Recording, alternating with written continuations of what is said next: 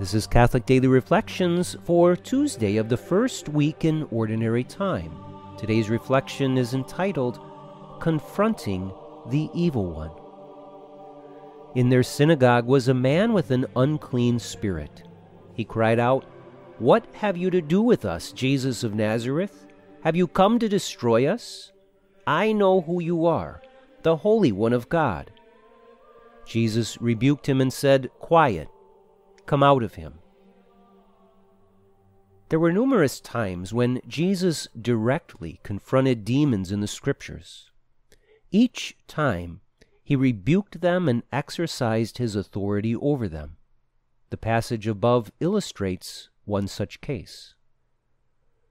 The fact that the devil shows himself over and over in the Gospels tells us that the evil one is real and needs to be dealt with appropriately.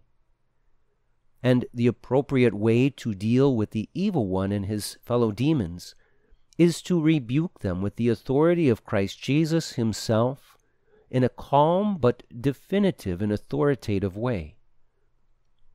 It's very rare that the evil one makes himself fully manifest to us in the way that he did in the passage above to Jesus.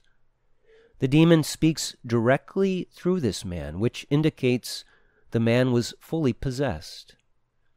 And though we do not see this form of manifestation often, it doesn't mean that the evil one is any less active today.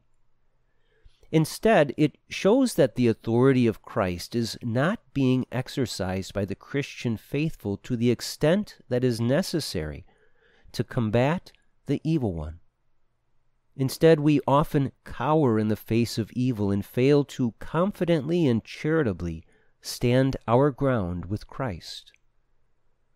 Why did this demon manifest himself in such a visible way? Because this demon was directly confronted with the authority of Jesus. The devil usually prefers to remain hidden and deceptive, presenting himself as an angel of light so that his evil ways are not known clearly. Those whom he controls often do not even know how much they are influenced by the evil one. But when the evil one is confronted with the pure presence of Christ, with the truth of the gospel that sets us free, and with Jesus' authority, this confrontation often forces the evil one to react by manifesting his evil. Reflect today upon the fact that the evil one is constantly at work all around us. Consider the people and circumstances in your life where the pure and holy truth of God is attacked and rejected.